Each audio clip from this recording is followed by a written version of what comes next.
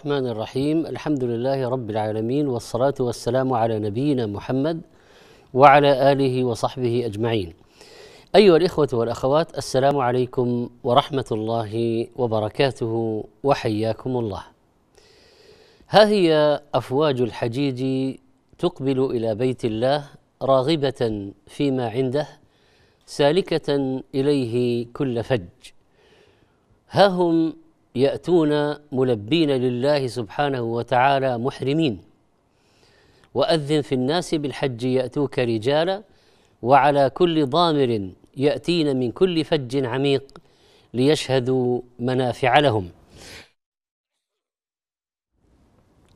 هكذا إذن هذه الفريضة العظيمة التي يتردد صدى أصوات الذين أتوا بها كما أذن الخليل إبراهيم بالحج في الناس أولا فأجابوا ولا زالوا يجيبون جيلا بعد جيل.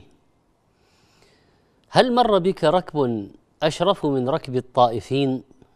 وهل شممت عبيرا أزكى من غبار المحرمين؟ وهل هزك صوت أروع من من تلبية الملبين؟ وما يزال وعد الله يتحقق منذ إبراهيم عليه السلام إلى اليوم والغد.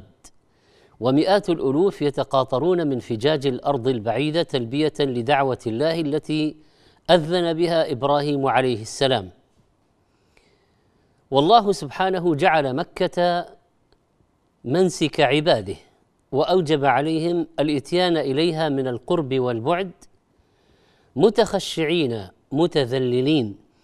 كاشفي رؤوسهم ومن لباس الدنيا متجردين.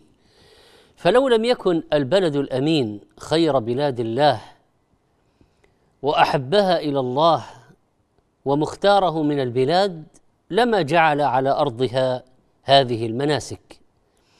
وليس على وجه الأرض بقعة يجب على كل مسلم قادر أن يسعى إليها وأن يطوف فيها إلا هذه البقعة.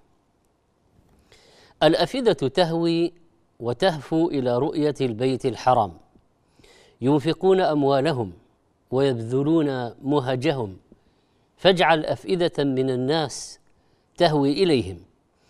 مكة خير بقاع الأرض وأشرفها وأفضل البلاد عند الله وأعظمها وأحب أرض الله إلى الله سبحانه وتعالى. وقد قال عليه الصلاة والسلام والله إنك لخير أرض الله وأحب أرض الله إلى الله ولولا أني أخرجت منك ما خرجت. وقال ما أطيبك من بلد وأحبك إلي ولولا أن قومي أخرجوني منك ما سكنت غيرك. أول مسجد وضع في الأرض لعبادة الله هو المسجد الحرام الذي بمكة. كما قال تعالى إن أول بيت وضع للناس للذي ببكة مباركا وهدى للعالمين.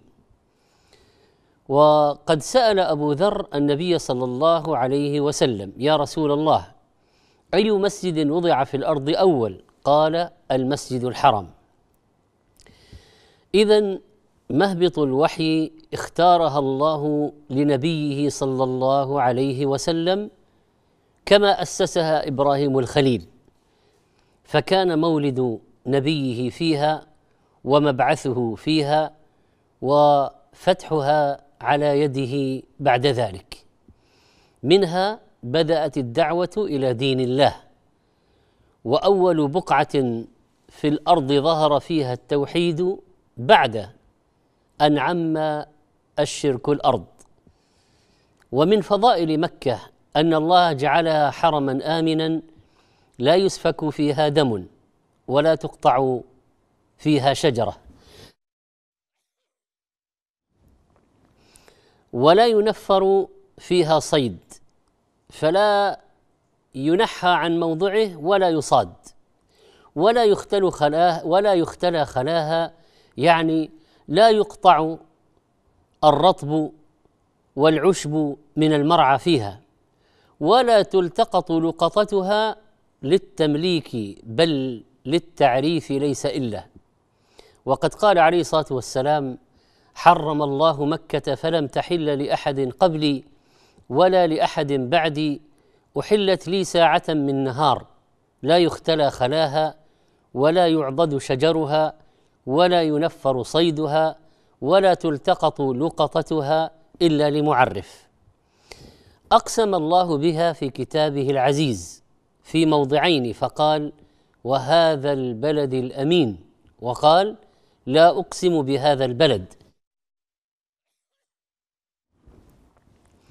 لا هذه تأكيد للقسم.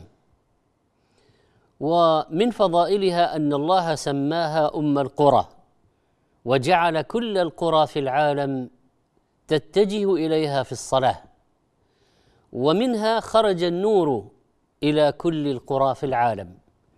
وكذلك أوحينا إليك قرانا عربيا لتنذر أم القرى ومن حولها. فالقرى كلها تبع لها وفرع عليها فهي أصلها. ومن خصائصها أن الله شرفها فجعلها قبلة العالم ويحرم استقبالها واستدبارها عند قضاء الحاجة دون سائر بقاع الأرض. كما قال عليه الصلاة والسلام إذا أتيتم الغائط فلا تستقبلوا القبلة ولا تستدبروها ولكن شرقوا أو غربوا. ومن فضائلها أنها محروسة محفوظة لا يدخلها الدجال. كما قال عليه الصلاة والسلام ليس من بلد إلا سيطأه الدجال إلا مكة والمدينة. ليس له من نقابها نقب يعني مدخل أو باب إلا عليه الملائكة صافين يحرسونها. والحديث في البخاري ومسلم. ومن خصائصها أن الصلاة فيها تعدل مئة ألف صلاة فيما سواها كما قال عليه الصلاة والسلام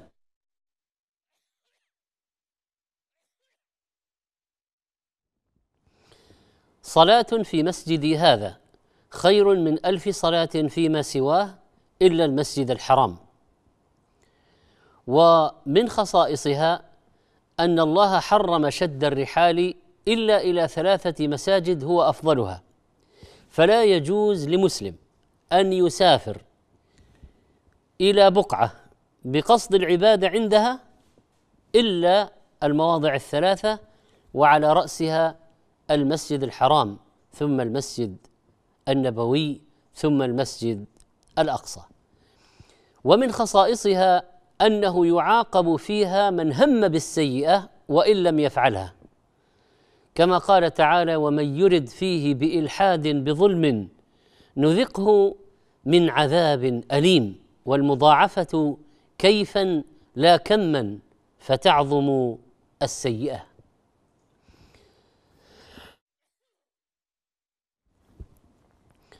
وهذه الأيام مع توافد حجاج بيت الله الحرام ليشهدوا المنافع العظام في هذه المشاهد الجليلة عربا وعجما كبارا وصغارا ذكورا واناثا امتثالا لأمر الله ولله على الناس حج البيت من استطاع إليه سبيلا ومن كفر فإن الله غني عن العالمين.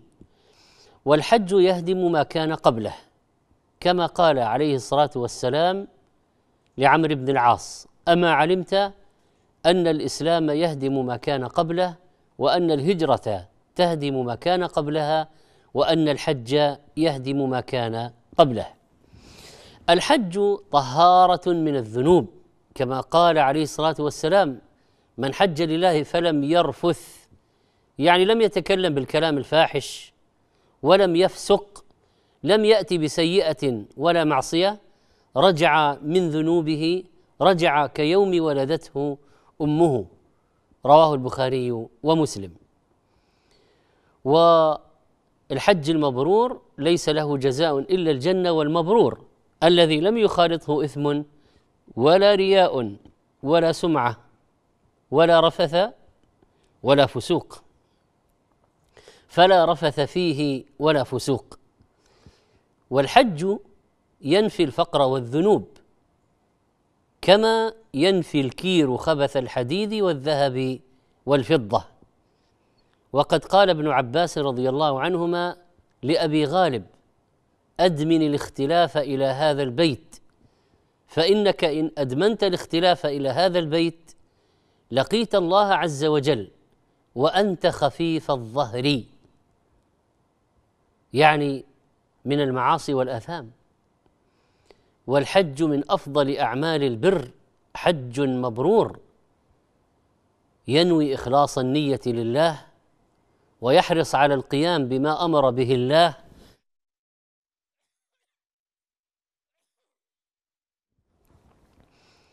ويسارع إلى المغفرة من الله ويجتنب ما أحرم الله من نظر محرم وكذب وغيبة وغش وغدر ونحو ذلك. ويتخلق بالأخلاق الفاضلة فيكون طلق الوجه طيب النفس رضي البال. وكذلك فإن الظلم في هذه الأماكن عاقبته وخيمة وإثمه وبيل. وقد قال الله الحج أشهر معلومات فمن فرض فيهن الحج فلا رفث ولا فسوق ولا جدال في الحج.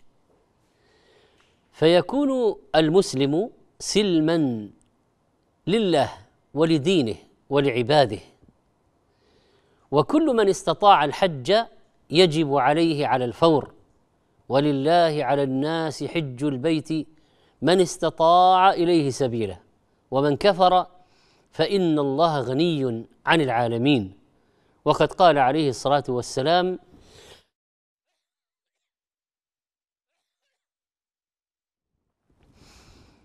أيها الناس قد فرض الله عليكم الحج فحجوا.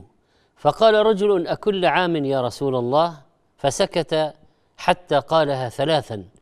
فقال عليه الصلاة والسلام لو قلت نعم لوجبت ولما استطعتم ذروني ما تركتكم.